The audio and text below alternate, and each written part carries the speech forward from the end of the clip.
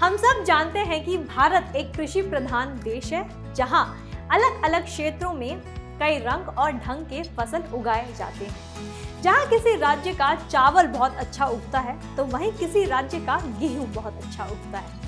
तो इसी के साथ आज हम जानेंगे कि अगर आप हार्ट ऑफ़ इंडिया यानी कि अगर आप मध्य प्रदेश में रहते हैं तो कौन से ऐसे फ़सल हैं जो आप उगा कर ढेरों मुनाफा कमा सकते हैं। तो ये वीडियो उन सारे यंग फार्मर्स लोगों के लिए है, जो खेती करना चाहते हैं और साथ ही उन सारे किसानों के लिए हैं, जिनके पास ज़मीन ज़रूर है और वो सोच रहे हैं कि कौन सा अनाज है, कौन सा फ़सल है, जो वो उगा कर बहुत ज़्यादा मुनाफा कमा सकते हैं। तो चलिए शुरू करते हैं। पर उससे पहले अभी तक अगर इस चैनल को आपने सब्सक्राइब नहीं किया है तो सबसे पहले इसे सब्सक्राइब करें।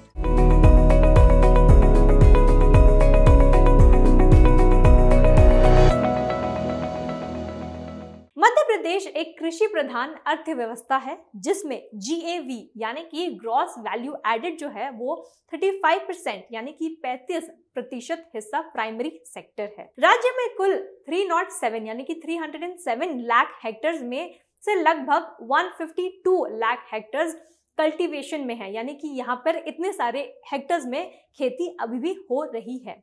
तो चलिए जानते हैं कि आप अगर आज मध्य प्रदेश में रहते हैं तो कौन कौन सा ऐसा प्रॉफिटेबल क्रॉप्स है जो आप उगा सकते हैं? तो सबसे पहले मैं आपको बताऊँगी कि आप सोयाबीन की खेती करना शुरू कीजिए। ऐसा क्यों? ऐसा इसीलिए क्योंकि सबसे पहले मैं आपको बता दूँ, मध्य प्रदेश को सोया प्रदेश के रूप में जाना जाता है। ऐसा इसीलिए क्योंकि ये जो राज्य है, यहाँ पर लगभग 60 प्रतिशत का उत्पादन सोयाबीन का होता है। बता दूँ कि सोयाबीन भारत में सबसे अधिक खेती की जाने वाली फ़सलों में से एक है, जो भारतीय अर्थव्यवस्था में भारतीय खाद्य तेल पूल का हिस्सा होने यानी कि एडिबल ऑयल होने के कारण ये बहुत ही महत्वपूर्ण क्रॉप बन जाता है। सोयाबीन उन फ़सलों में से एक है जो ऑयल सीड क्रॉप है और साथ ही एक फलियानी फ़सल है जिसका उपयोग आटा तैयार करने के लिए भी होता है। साथ ही मैं आपको ये भी बता दूँ कि सोयाबीन की खेती करना फ़ायदेमंद इसीलिए भी है क्योंकि आज अगर हम देखें तो सोयाबीन के उत्पादन में भारत विश्व, पूरे विश्व में चौथे स्थान पर है। तो इससे आप अंदाज़ा लगा सकते हैं कि सोयाबीन की खेती कितने ज़्यादा स्तर पर की जाती है। इतना ही नहीं, आज बहुत से ऐसे किसान हैं जो सोयाबीन की खेती कर रहे हैं, उस पर निर्भर हैं और साथ ही ये किसानों की अर्थव्यवस्था को सुधारने का भी काम करता है। वहीं अगर हम मेजर ग्रोइंग स्टेट्स की बात करें, राज्यों की बात करें तो मध्य प्रदेश इस लिस्ट में सबसे पहले स्थान पर आ जाता है। तो जैसा कि मैंने ऑलरेडी आपको बता दिया है यहाँ पे 60 परसेंट खेती सोयाबीन की होती है। यहाँ पे मैं आपको बता दूँ, बहुत सारे वेराइटीज ऑफ़ सोयाबीन है जो आप आसानी से उगा सकते हैं। बहुत सारे राज्यों में सोयाबीन की खेती की जाती है, जैसे कि इंदौर में, धार में, उज्जैन में, होशंगाबाद में एक्सेट्रा अन्य अन्य ऐसे राज्य हैं मध्य प्रदेश के जहाँ पे इसकी खेती की जाती है। वैरायटीज की अगर हम मैं बात करूँ तो यहाँ पे 2500 से भी अधिक वैरायटीज हैं सोयाबीन की, जो अलग साइज़ और शेप में आते हैं और साथ ही अलग कलर में भी आते हैं जिसकी खेती आप आसानी से कर सकते हैं। मध्य प्रदेश के अलावा मैं आपको बता दूँ, महाराष्ट्र राजस्थान, कर्नाटका और तेलंगाना में भी सोयाबीन की खेती ज़्यादा स्तर पर की जाती है। दूसरा ऑप्शन मैं आपको ये दूँगी, जिसकी खेती आप कर सकते हैं आसानी से मध्य प्रदेश में, वो है गेहूँ की। जी हाँ गेहूँ पिछले एक दशक में 183 मिलियन मेट्रिक टन उत्पादन के साथ मध्य प्रदेश की सबसे महत्वपूर्ण फ़सल में से एक हो गई है, जिसमें उत्पादन में हर साल औसतन 11 प्रतिशत की वृद्धि हुई है। तो अगर आज हम लार्जेस्ट वीट प्रोड्यूसिंग स्टेट्स की हम बात करें, यानी कि ऐसे राज्य जहाँ पर सबसे ज़्यादा गेहूँ उगाए जाते हैं तो मध्य प्रदेश दूसरे स्थान पर आता है, जहाँ मध्य प्रदेश अकेले 16.08 ऑफ़ द टोटल प्रोडक्शन जो है, वो कंट्रीब्यूट करता है। यहाँ पे अगर मैं सबसे फ़ेमस वैरायटी की बात करूँ तो बासमती गेहूँ सबसे ज़्यादा यहाँ पे उगाई जाती है। तो अगर हम डिस्ट्रिक्ट्स की बात करें तो शेहोर हो गया, नरसिंहपुर हो गया, होशंगाबाद हो गया देन हरदा हो गया, अशोकनगर हो गया, भोपाल हो गया, मालवा हो गया, ऐसे जो रीजन्स हैं, यहाँ पे बासमती वीट यानी बासमती गेहूँ ज़्यादातर उगाए जाते हैं। तो आज अगर आप एक क्विंटल भी गेहूँ उगाते हैं तो अब जाके आपको 2300 से लेकर 2500 तक की कमाई आप आसानी से कर सकते हैं।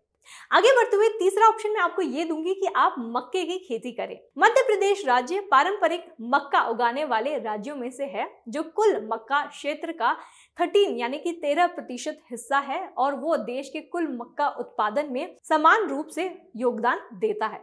मक्का एक ऐसा फ़सल है जो विभिन्न क्षेत्रों, जलवायु परिस्थितियों में भी उगाया जा सकता है। ये एक स्पेशलिटी है, अगर आप कौन यानी कि मक्का, मक्के की खेती कर रहे हैं तो। विश्व स्तर पर अगर हम देखें तो मक्का को अनाज की रानी के रूप में जाना जाता है। ऐसा इसलिए है क्योंकि इसमें सभी अनाजों में से हाईएस्ट ईल्ड देने की क्षमता रखता है, यानी कि ज़्यादा उपज देने की ये क्षमता रखता है। इसीलिए ये अनाजों की रानी कहलाता है। भारत में मक्का, चावल और गेहूँ के बाद तीसरा ऐसा सबसे महत्वपूर्ण फ़सल है। ऐसा इसीलिए क्योंकि भारत में मेज का जो प्रोडक्शन है, अगर हम देखें तो पूरे फ़ूड बास्केट में लगभग नाइन परसेंट यानी कि नौ प्रतिशत कॉन्ट्रीब्यूट करता है। यानी कि नाइन परसेंट टोटल कॉन्ट्रीब्यूशन अगर हम फ़ूड बास्केट को देखो तो 9 परसेंट अलोन ये मक्का का होता है। साथ ही मैं आपको ये बता दूँ कि ये हमारे खाने के अलावा बाकी अन्य चीज़ों के लिए भी बहुत ज़्यादा फ़ायदेमंद है, क्योंकि इसका इस्तेमाल बहुत सारे इंडस्ट्रियल प्रोडक्ट्स को बनाने के लिए भी होता है। फॉर एग्ज़ाम्पल ये स्टार्च को बनाने के लिए इस्तेमाल होता है, तेल का उत्पादन करने के लिए भी इस्तेमाल होता है अल्कोहलिक बेवरेज को भी बनाने के लिए इसका इस्तेमाल होता है और इसका इस्तेमाल फ़ूड स्वीटनर्स के रूप में भी होता है और साथ ही मेडिकल फार्मास्यूटिकल्स में भी यूज़ होता है कॉस्मेटिक्स बनाने के लिए यूज़ होता है एक्सेट्रा सो इसके बहुत सारे इस्तेमाल है और इसीलिए इसकी खेती आज बहुत ज़्यादा फ़ायदेमंद है। तो अगर ऑन एन एवरेज हम देखें अगर आप इसकी खेती कर रहे हैं तो आप एक हेक्टर में 33 से 35,000 तक प्रॉफिट आप हर साल एक्सपेक्ट कर सकते हैं। अगला है पैडी यानी कि चावल। मैं आपको बता दूँ कि चीन धान के बाद भारत में चावल का दूसरा सबसे बड़ा उत्पादक है। ये भारत की प्रमुख अनाज की फ़सल है। ये देश के लगभग सभी प्रोविंसेस यानी कि सभी क्षेत्र में उगाए जाते हैं। लेकिन अगर हम एकदम मेजर ग्रोइंग स्टेट्स की बात करें तो सबसे ज़्यादा इसे आंध्र प्रदेश वेस्ट बंगाल तमिलनाडु उत्तर प्रदेश ओडिशा छत्तीसगढ़, पंजाब, असम और साथ ही मध्य प्रदेश में भी इसे बहुत ज़्यादा स्तर पर उगाया जाता है। तो आज अगर आपको खेती करनी है तो आप चावल की खेती भी डेफिनेटली कर सकते हैं। वहीं अगर हम मध्य प्रदेश स्पेसिफिकली यहाँ पे बात करें मध्य प्रदेश की तो यहाँ की जो मिट्टी है और साथ ही पर्यावरण की स्थिति अधिक उपज देने वाली पूरा बासमती वन वैरायटी जो है, वो उगाने के लिए सबसे उपयुक्त है। अगर आज आप एक एकड़ के ज़मीन में इस बासमती कल्टीवेट करते हैं, बासमती की खेती करते हैं, यहाँ पे 23 क्विंटल आप ग्रो कर सकते हैं और एक क्विंटल तीन हज़ार चार सौ पाँच रुपए में बिक रही है। तो अगर हम कैलकुलेट करें 23 थ्री इंटू थ्री तब जाके आपको सालाना जो ये प्रॉफिट है, वो हो सकता है seventy eight thousand three hundred and fifteen rupees का। और आखिरी ऑप्शन में आपको ये दूँगी कि आप मस्टर्ड यानी सरसों की खेती करें। सरसों की उपज के लिए भिंद क्षेत्र की जलवायु सबसे ज़्यादा अनुकूल है।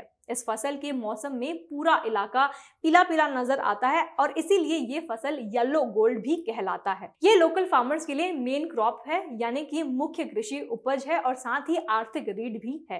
अगर हम मध्य प्रदेश की बात करें तो मध्य प्रदेश चौथे स्थान पर आता है, अगर हम प्रोडक्शन की बात करें तो। तो मध्य प्रदेश में सबसे ज़्यादा इस फ़सल को उगाया जाता है, जहाँ पर 11 percent of total contribution Madhya Pradesh से होता है। अगर हम ऑयल सीड क्रॉप की बात करें तो मस्टर्ड यानी कि सरसों दूसरा सबसे महत्वपूर्ण क्रॉप है ऑयल सीड क्रॉप है, सोयाबीन के बाद तो आज अगर एक एकड़ ज़मीन में आप सरसों उगाते हैं, तब जाके पाँच से छह क्विंटल आप एक्सपेक्ट कर सकते हैं और ज़्यादा से ज़्यादा अगर आपका अच्छा होगा, मौसम और सीज़न अच्छा होगा, तब जाके छह से आठ क्विंटल एक हेक्टर में उगा सकते हैं और इसका जो प्रॉफिट है, वो लगभग बाईस से लेके पच्चीस हज़ार तक आप एक्सपेक्ट कर सकते हैं।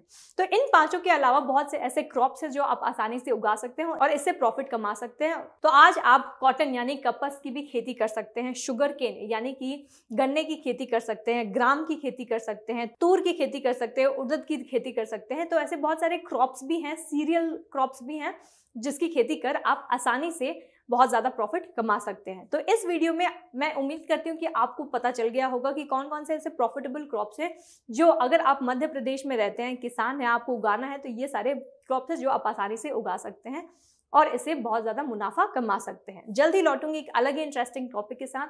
तब तक के लिए इस वीडियो को लाइक और शेयर करना ना भूलें और कमेंट कर हमें ये बताएँ कि आपको ये वीडियो कैसा लगा। और साथ ही इस चैनल को सब्सक्राइब करें और बेल आइकन को दबाना ना भूलें ताकि जब भी हम अगला वीडियो पोस्ट करें, तब आप तक हमारा वीडियो ज़रूर पहुँचे। साथ ही मैं आपको ये बता दूँ, अगर आपको खेती के बारे में जानना है, बहुत सारे अन्य खेती के बारे में जानना है तो उसके लिए आप डाउनलोड कर सकते हैं फ्रीडम ऐप आप फ्रीडम ऐप प्ले स्टोर या ऐप स्टोर दोनों से ही डाउनलोड कर सकते हैं।